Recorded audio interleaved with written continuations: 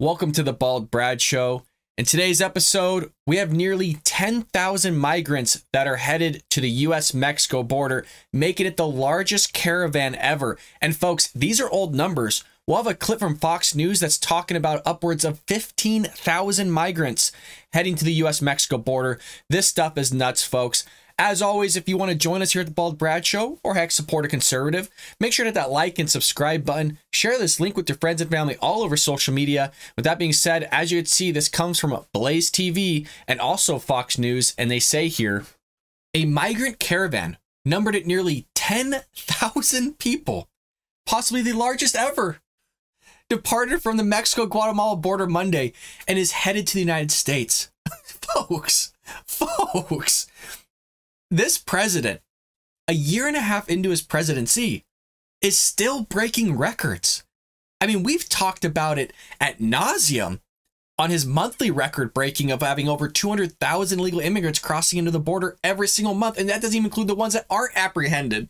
And then we talked about the yearly numbers as well of him breaking records. And now he's breaking records in terms of caravans. what the hell? What the hell? But we're supposed to listen to this guy about common sense gun reform. Give me a freaking break, man. it's just this guy has crisis after crisis after crisis, record after record after record being broken. And we're supposed to listen to this guy as if he's speaking coherently, as if he has a clue on what's going on. It's been a year and a half, and he still hasn't figured it out. And he's only making matters worse. The same thing with the uh, oil production and gas prices. It's only getting worse. And it's been getting worse since he's freaking been in office. We've seen the graph from Ted Cruz. Okay, we've seen all the stuff he's pushing out. So he's not solving any problems. He's only making literally everything worse. But at the same time, having Jen Psaki go on the podium or Karine Jean-Pierre or himself, somebody's going out there from his administration lying to us every single week. And then we get these numbers and we're not even supposed to believe that they're real. what the hell, you guys? Well, help me with this to understand any of this insanity from the president. The caravan left Tapachula on Monday and currently has about 9,500 migrants, mostly from Venezuela, Cuba, and Nicaragua. It is predicted to add several thousand more people before it reaches the southern border by a coastal route, according to Fox News. So again, it's only getting worse. I believe it's up to about 15,000 at the present time. One of the caravan members, check this out, and we have a clip on this, so I'll read it and then we're going to show the clip. A Haitian migrant, so it's not even a legal resident of the United States, told Fox News they expect President Joe Biden to keep his campaign promises and permit them to seek asylum in the United States. Talking as if the man belongs here. Look, if you have the paperwork and you can get in, great. Become a U.S. citizen legally, but not illegally, just come to expect us to let you in all free willy nilly. He promised the Haitian community he will help them, the migrant said.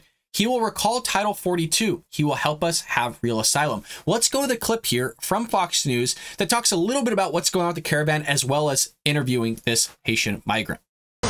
The largest ever migrant caravan gathering in Mexico could be headed towards the United States as early as today. And the group is reportedly expected to swell to 15,000 people by the time it reaches our southern border. Texas Public Policy Foundation Executive Director Robert Henneke has prosecuted immigration cases and is the former Assistant Attorney General of Texas, and he joins us now. Robert, what should the Biden administration be doing right now to get Mexico to stop facilitating this caravan? Well, Todd Carley, thank you for having me. The Biden administration should start off first by re implementing the Trump immigration policies that were successful in securing the border at the end of the Trump administration by disincentivizing this illegal migration. But look, Biden needs to get tough against the Mexican government that's co- complicit in cooperating with the cartels to really facilitate these growing migrant caravans, the latest one being 15,000 persons coming from Tapachula. Uh, that it's heading straight for the United States, Biden administration needs to tell them to stop and go back. Well, here is one migrant who is sending a message to President Biden. Listen here.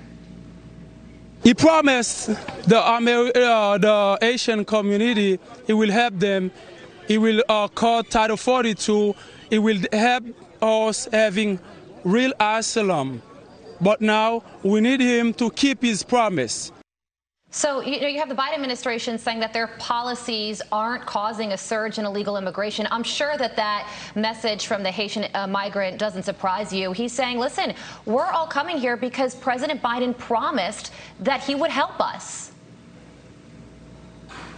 Well, the, the announcements from the Wild. Biden administration have been uh, tourism advertisements to these migrants. You saw how well informed that person was on an issue that I represented 54 members of Congress in the lawsuit opposing the cancellation of Title, Title 42. But every time that the Biden administration, the White House, announces these open border policies, it is seen as an invitation to the cartels, to these migrant car- caravans, to double their efforts to come illegally into the United States, and it needs to be stopped and shut down. Finally, gas prices. So then they get into gas prices here on Fox News, which we don't need to hear about because we've already heard enough about Biden and him not wanting to increase domestic oil production and all sorts of things going on with that. But it says here you have the caravan's organizer gave more details to Fox News on the size and progress of the caravan. Quote, we consider we are around 9,500 it measures. By the way, who's feeding all these people? That's my question. Where's all this stuff coming from?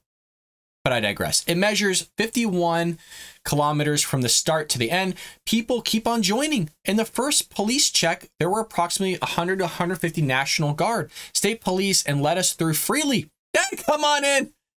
Make your way through, folks. The border's this way. You'll see signs. There'll be stops for y'all to make sure you're well fed and get hydrated. We'll take care of you. A federal judge in May prevented the Biden administration from rescinding the public health order known as Title 42, a pandemic policy that requires migrants seeking asylum to United States to wait outside the country for processing. Title 42 also grants immigrant immigration enforcement extra authority to deport migrants that enter the country illegally. But again, it's not just Title 42. It's the whole PR from the Biden administration not being strong on this, as well as removing Trump's policies that stop this type of behavior from happening. You've heard it from migrant after migrant that have come across the border, or at least are being held at the border as well, being interviewed by, by different stations, that they came because Joe Biden said they can come in.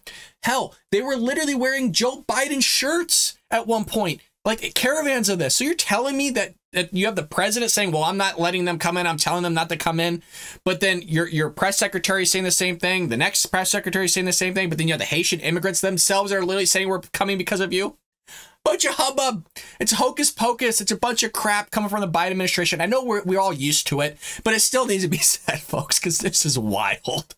I mean, again, try to just fathom that you have somebody that was the best person of a party, meaning the Democrat Party. This is the front runner. This is the person, the best person on the bench from the Democrat Party they could put forward. And look at everything that's going around. The Democrat Party doesn't have crap to run on.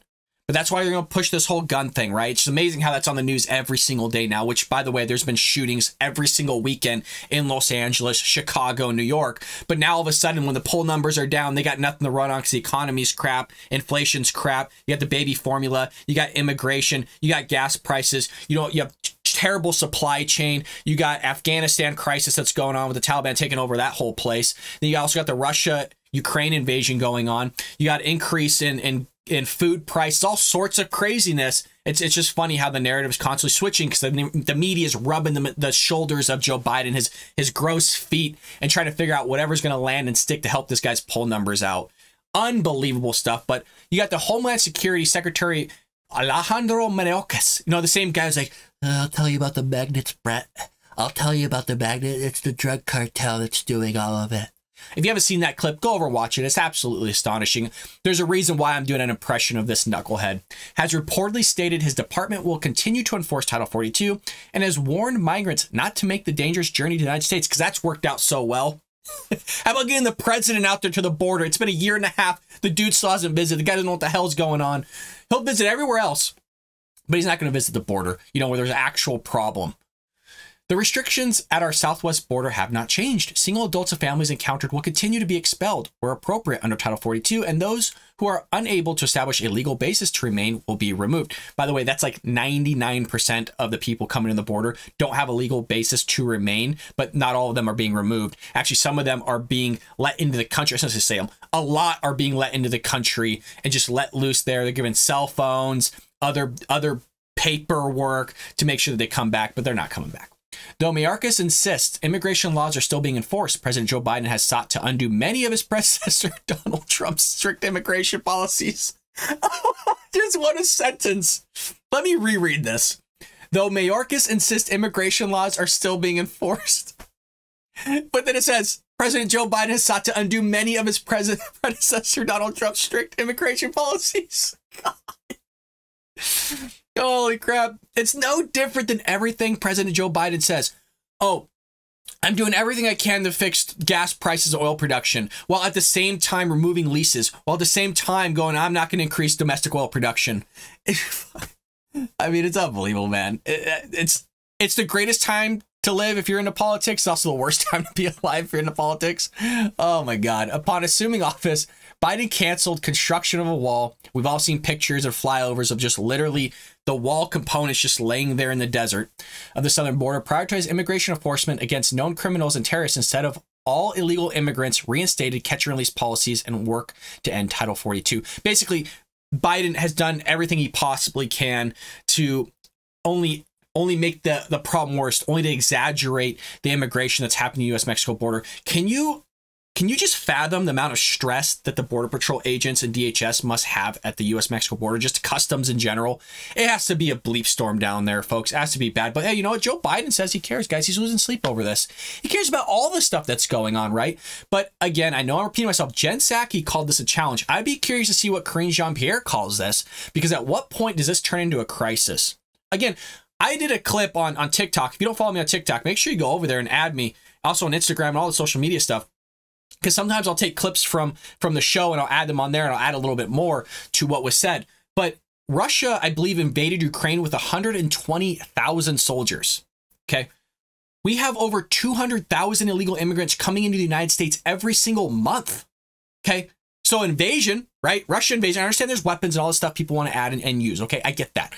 You have an invasion of 120,000 people in Russia, Ukraine.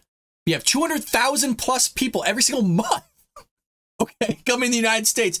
And that's the only ones apprehended. That doesn't include the MS-13 gang members. That doesn't include drug, drug cartels. That doesn't include the fentanyl coming across. That doesn't include weapons coming across, cocaine. So look, there are weapons. There are violent people coming across. Even if you were to use a tiny, tiny percent, the single digits, you're talking thousands of people coming across the border that are that are not good people that you know want to cut off your head, use your skull as a soup bowl, you know, wear your teeth as a necklace type of stuff. But hey, they're all good people coming across the border, according to Democrats, according to Joe Biden. No reason for national security here, folks. Let's focus on the alien stuff, you know, according to Marco Rubio and other Republicans.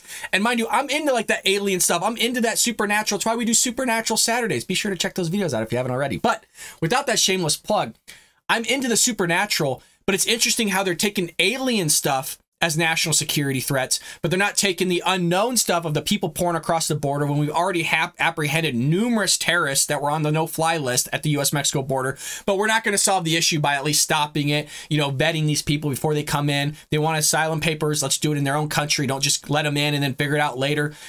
All sorts of craziness, folks. I've done this type of stuff at ad nauseum. And what's interesting is supposedly this is the number one issue according to Americans I don't know, folks. I don't know because I'm not hearing a lot coming from Americans regarding this illegal immigration. If you do care about this, can you leave me a comment down below? If you made it to the end of this video, if you're one of the loyalists to the Bald Brad Show, for love of God, leave me something down below on what you really think about this whole immigration issue because it feels like nobody cares. Okay.